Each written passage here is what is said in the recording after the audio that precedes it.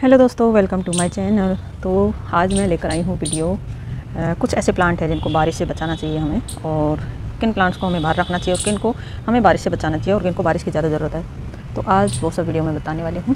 तो ये देखिए रेन लिली काफ़ी सुंदर लग रहा है और काफ़ी सारी फ्लावरिंग इसमें हो चुकी है और देखिए सीड्स भी बन गए हैं इसमें। तो आज ऐसे प्लांट बताने वाली हूँ मैं, जो आप, बहुत ज़्यादा बारिश अगर आपके यहाँ लगातार हो रही है तो कौन कौन से प्लांट्स को आप जो है सेव कर सकते हो बारिश से? और कुछ प्लांट्स को जो है लगातार बारिश में आप रख भी सकते हो। तो वही आज मैं बताने वाली हूँ आपको। तो सबसे पहला प्लांट यहाँ पे देखिए अडेनियम है। अडेनियम एक सकुलेंट फैमिली से बिलोंग करता है और जितने भी सकुलेंट फैमिली के प्लांट होते हैं, उन्हें हमें जो है ना लगातार बारिश से बचाना होता है। नहीं तो फिर जो है ना ज़्यादा बारिश इनके लिए हानिकारक होती है। प्लांट्स को ख़राब करने के पूरे पूरे चांस होते हैं ज़्यादा बारिश में। तो ये देखिए मेरा प्लांट भी जो है ना हमारे यहाँ पर एक ही बारिश बहुत अच्छे से हुई है और उसी बारिश में ये बाहर रह गया। तो ये मेरा पिछले साल भी यहाँ से थोड़ा सा कोडेक्स इसका ख़राब था मतलब सर्दियों में मैंने इसको निकाल के रखा। तब इसकी थोड़ी रूट्स गली हुई थी तो इसको मैंने कट करके इस तरह से देखिए मैंने पंजे साइड में लगाया हुआ है। तो लगा के मैंने अच्छे से इसको सुखाया, फिर जाके इसको मैंने लगाया मिट्टी में दोबारा तो ये लग भी गया अच्छे से देखिए, काफ़ी अच्छा चल भी रहा है। लेकिन जो है, अब बारिश में मैंने इसको बाहर ही छोड़ दिया। तो एक बारिश अब लग जाने दी, लेकिन बहुत ज़्यादा अगर बारिश हो रही है ना तो आप फिर इसको अंदर रख सकते हो। मतलब कहीं साइड में जहाँ इसको बारिश ना लगे। तो देखिए, एक बारिश हमारे यहाँ बहुत ज़बरदस्त हुई थी तो वो बारिश ये देखिए थोड़ा थोड़ा ये गलने लगा नीचे से।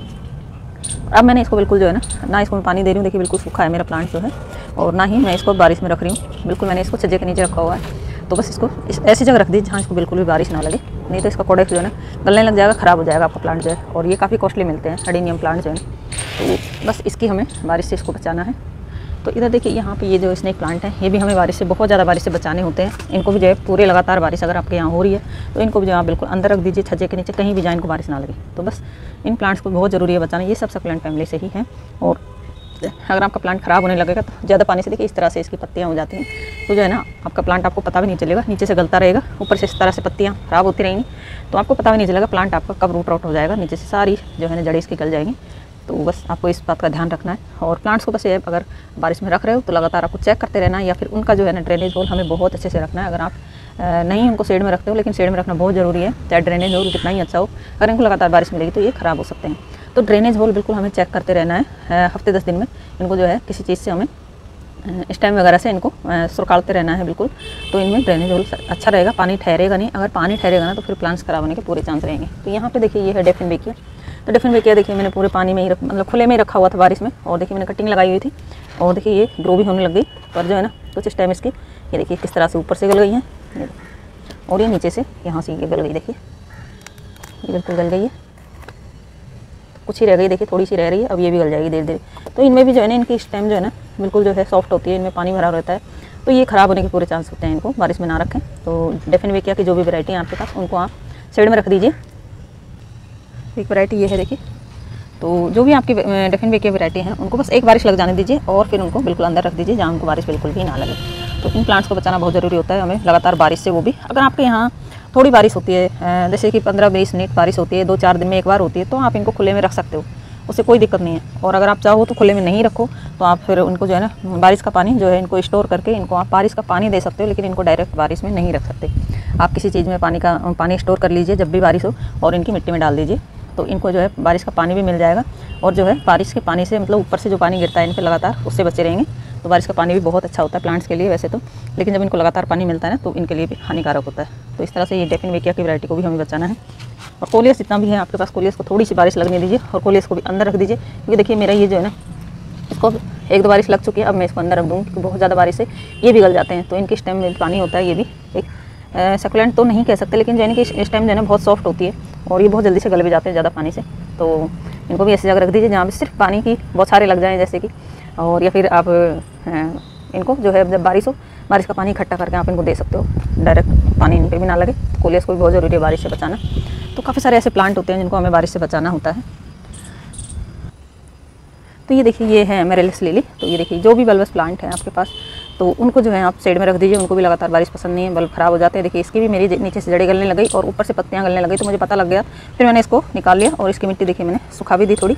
और जो है, इनको मैं इनकी जड़ें जो गल गई हैं, उनको कट करके फिर से इसको लगा दूँगी और साइड में रख दूँगी इसको। तो ये भी लगातार पानी, लगातार बारिश से जो है हमें बचाने होते हैं। तो इनको बहुत ज़रूरी है, नहीं तो बल्ब ख़राब हो जाते हैं। ये भी काफ़ी कॉस्टली मिलते हैं, लेने जाओ तो बल्ब भी पचास साठ रुपये का एक मिलता है इनका। तो इनको जो है साइड में रख दीजिए। थोड़ी बार मतलब एक बारिश इनको लग जाने दीजिए, फिर इनको आप अंदर रख दीजिए। इनको लगातार बारिश नहीं लगने देनी है। तो यहाँ पे देखिए, ये मेरा बेबी टीयर है। बेबी टीयर को वैसे तो पानी बहुत पसंद है, लेकिन ये भी एक सकुलेंट फैमिली से ही है। तो इनको डायरेक्ट पानी नहीं लगने देना है। बस यही है इनको डायरेक्ट पानी नहीं लगने देना। और देखिए, अब इनको मैंने खुले में रखा हुआ देखिए, इस तरह से ये गल गई हैं। कुछ तो मेरी बहुत ज़्यादा गर्मी से ख़राब हो गई, कुछ अब जो है ना, ज़्यादा बारिश से ख़राब हो गई। तो बस कोई भी मौसम हो, ज़्यादा अगर इनको जैसे कि ज़्यादा बारिश है, ज़्यादा गर्मी है तो दोनों ही तीनों मौसम जो है ना, ख़राब होते हैं। ज़्यादा हर चीज़ जो है ना लिमिट में ही ठीक लगती है। तो लिमिट में ही हम सेंड कर सकते हैं। तो बस इस तरह से देखिए, इसको भी जो है एक दो बारिश लगने के बाद इनको आप छेड़ में रख दीजिए, बिल्कुल बाहर ना रखें। और इधर देखिए, ये भी मेरा एक फिंगर कैक्टस तो ये देखिए, ये भी मेरे खुले में रखा हुआ तो देखिए, इस तरह से ये भी ख़राब होने लगे हैं। तो इनको बिल्कुल ध्यान रखना है, इनको भी जो है सकुलेंट जो भी हैं, सबको अंदर रख देना है। देखिए, किस तरह से गल गए, काफ़ी अच्छे थे हेल्दी थे। तो देखिए, इनमें जो है ना ड्रेनेज होल का सिस्टम ठीक नहीं होगा। मैं तो अपने हाथ से जब पानी देती थी, बिल्कुल तीन चार दिन में या पाँच दिन में एक बार पानी देती थी इनको, वो भी हल्का सा, बहुत ज़्यादा पानी नहीं देती थी। तो बस अब जो बारिश का पानी है, वो बहुत ज़्यादा लग गया है शायद इनको। तो ये भी कलना स्टार्ट हो गए हैं तो इनको भी मैं हटा दूँगी यहाँ से अब। इस तरह से ये कैक्टस है। देखिए, बनी कैक्टस और यहाँ पे देखिए, ये एक पेंसिल कैक्टस तो इनको भी जो है, बहुत ज़्यादा बारिश में नहीं रखना है। इनको भी जो है, बिल्कुल अंदर रख देना है शेड में। और इधर देखिए, ये है मदर ऑफ़ थाउज़ेंड इसको भी जो है, बारिश में बिल्कुल नहीं रखना है। तो इनको बिल्कुल भी बारिश नहीं लगने देनी है। जैसे कि एक दो बारिश लगने के बाद, उसके बाद इनको अंदर डाल दीजिए। यहाँ पर देखिए, ये पर्पल हार्ट पर्पल हार्ट वैसे तो काफ़ी अच्छे से चलता है, लेकिन वही है ना, बहुत ज़्यादा बारिश में ये भी गलने लग जाता है। ये भी सप्लेंट फैमिली से ही बिलोंग करता है। इनको भी जो हमें बारिश, थोड़ी सी बारिश लगने देनी है, एक दो बारिश। और फिर इनको अंदर हमें डाल देना है। तो बस कुछ काफ़ी सारे प्लांट होते हैं, जिनको बारिश लगने देनी होती है, जैसे कि मोगरा मोगरा को बारिश काफ़ी पसंद होती है, इनकी स्टेम जो है ना हार्डवुड होती है तो इनको बारिश बहुत ज़्यादा पसंद होती है, और जो है इन पर बारिश से फूल भी बहुत ज़्यादा लगते हैं प्लांट पे, और प्लांट जो है ना, बहुत हेल्दी हो जाता है। देखिए, अब बारिश लगने के बाद मेरा प्लांट कितना हेल्दी हो गया, नहीं तो गर्मियों से बिल्कुल झुलस गया, देख सकते हो आप, इसकी पत्तियाँ झुलसी हुई हैं अभी भी तो इनको जो है बारिश बहुत पसंद है, जैसे कि गुड़ैल है, गुड़ैल की भी स्टेम जो है काफ़ी हार्ड होती है, इनको भी जो है आप बारिश में रख सकते हो लगातार बारिश में, इनको बारिश लगातार बारिश काफ़ी पसंद है यहाँ देखिए डॉलर प्लांट डॉलर प्लांट को भी जो है ये मॉइस्चर लविंग प्लांट है। इसको बारिश पसंद है, इसको पूरी बारिश में रखिए, पूरे टाइम की बारिश में आप इसको रख सकते हैं, देखिए। इसको बारिश लगने के बाद देखिए मेरा प्लांट कितना हेल्दी और कितना बिल्कुल इसने पूरे पॉट को कवर कर लिया बहुत सुंदर लगता है, इसकी पत्तियाँ इसके, इस तरह से गोल गोल होती है ना तो बहुत ही अच्छी लगती हैं। देखने में काफ़ी खूबसूरत लगती हैं। तो इसको भी जो है बारिश में आप रख सकते हो।